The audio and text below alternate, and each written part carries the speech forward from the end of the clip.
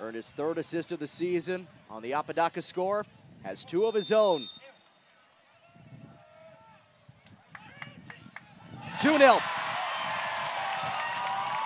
Good finish from Romario Piggott, right into the corner, waves the rest of the team over so they can celebrate together.